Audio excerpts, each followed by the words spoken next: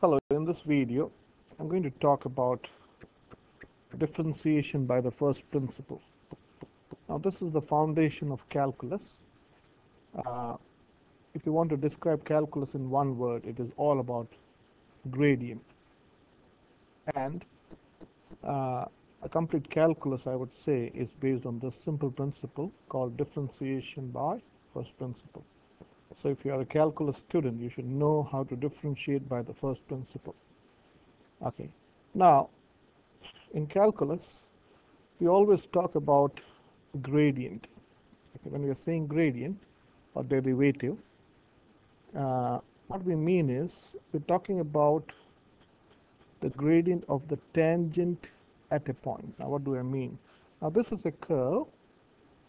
I don't know the equation of the curve. It is say I'll generalize it as y is equal to fx. So, I've plotted four points. This is point A, B, C, D. Now, I've drawn a tangent at A. Now, L is line L is the tangent at point A line B is a tangent at point B. A tangent you should know is a line which just touches uh, through one point. So this is a tangent at A, B, C and D. Now if you know gradient, when you're talking about gradient, it is the rate of change, a rate of change of y with respect to x. That means what's the change in y for the change in x? That's what we talk about gradient. And you should also know that when you're talking about gradient, you're looking from left to right. Now, if you look at this line from left to right, it's going up.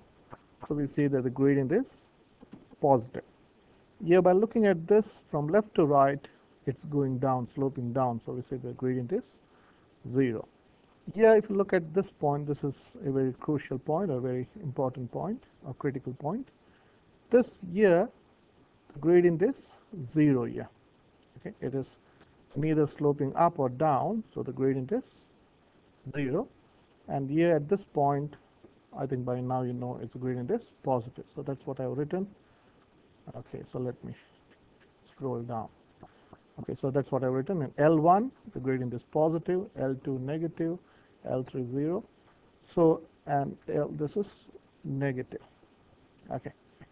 Now, in calculus we want to find we are interested in finding the gradient of the line at that point when I saying gradient it means the gradient of the tangent at that point okay?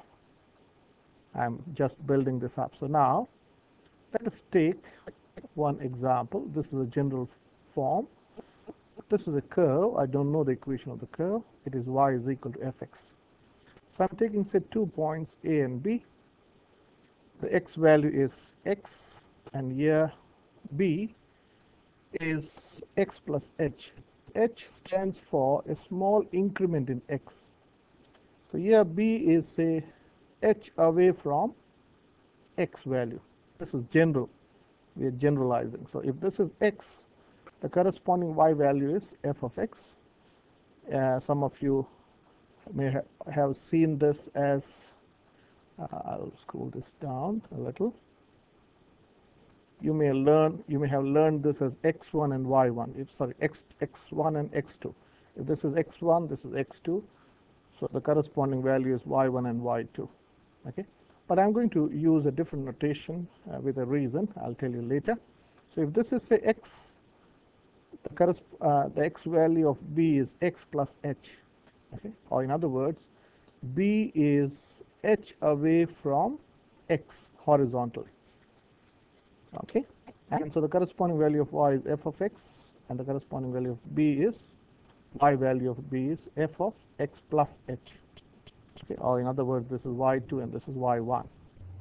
So you know the definition of gradient is rise over run, or the gradient is change in y over change in x. So let us take the this is what you may be knowing gradient is change in y over change in x which is rise over run this is y2 minus this is the change in y which is rise and change in x is the run which is x2 minus x1 okay now instead of this same thing instead of writing y2 minus 1, y2 minus y1, can I write gradient m is f of x plus h minus f of x over x2 is x plus, I'll show it again. So this is your x, x1, this is your x2.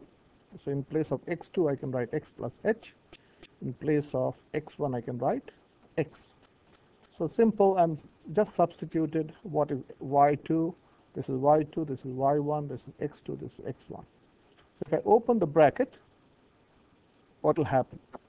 This will, this x, this x and this x will get cancelled. So you can say m would be f of x plus h minus f of x minus h. This is nothing fancy yet. Okay, now I want you to think in a logical way. Put on your thinking cap and read this, what have I said here. My statement is, this is, calculus is all about intuition, okay? If you uh, remember formulas, you're never going to enjoy calculus. So what does it say? What would happen to the value of h, talking about this, as b comes closer and closer to a? Or, to put that same thing in a different way, what would happen as point b and a are not two different points, but become the same point? That means we are saying what, think about, let us go back to the graph. Okay, now what I'm saying is, what would happen to h, the value of h, as b comes closer and closer and closer to the value to a?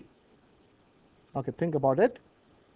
Okay, I think you should be knowing the answer. If you're thinking, this is what you should be thinking. Yes, as b approaches a and are very, very close to each other. Okay, they, means this is almost they're almost the same point, but they're different, but they are the same. Okay, that's uh, the intuition behind uh, this principle. So yes, as B approaches A and are very, very, very close to each other, the value of H approaches zero. Let me go back to the graph and what, that's what I'm saying. If this H I told you in the beginning, that's a small increment in h, sorry, in x. x plus h is x plus something, you add something to x, you get x plus h. So as this point comes closer and closer and closer on the curve, closer to B, sorry, closer to A, this value of h would approach 0. It's almost 0, okay? So that's the intuition. So that's what I've written approaches 0, which is mathematically written as this. Now, this is, I haven't talked about limits, but this is a, way, a mathematical way of writing it. Okay, so this is how you write. When the limit h approaches 0. Now, h is not 0. This is only approaching 0. So that's one thing that you have to wrestle with, that uh, h is not 0, but almost 0. In practical sense, practical sense, it's 0 but in theoretically it is not 0. Okay. So, or technically it is not 0. In practical sense it is 0. Okay. So, what will happen? So, I have written the same thing again. This is an argument, okay, and that's why maths, I love argument and I love maths. So, when h, when the limit, this is how you read it, when the limit h approaches 0 and a and b are almost the same points, what can you say about line AB? So this is a crucial point. Okay, again we are developing the argument. Uh, let us say again, A and B are almost the same point. There's, you can say B is almost here. Okay, I'm not plotting it.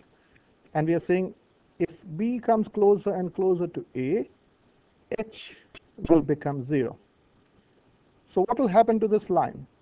How would this line look like? That's the question. Okay, so let me sh show you. I'll highlight this. I can drag it. Okay, so this line will become, let me, now if now we are saying is A and B are the same points. So if A and B are the same points, B from here has come here. So this line AB would suddenly become the tangent at that point. Okay. So so that's what I have written here. So let me write, scroll down. So yes, line AB would become the line would become a line just passing through A. Or in other words, the line AB would become the tangent passing through point A. So this is all about intuition. Uh, so if you can understand logic, this is what we're talking about.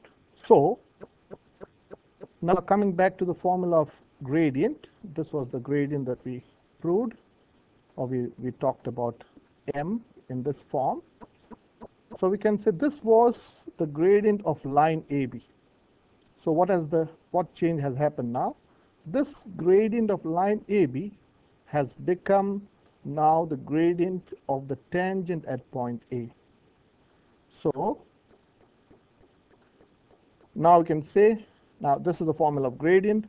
So we can now say that the gradient of the tangent at A can be defined by this def this is called the basic definition of differentiation. Now, what is dy? Now, dy, and when when students look at dy and dx, they find they find it crazy. But in fact, they are numbers.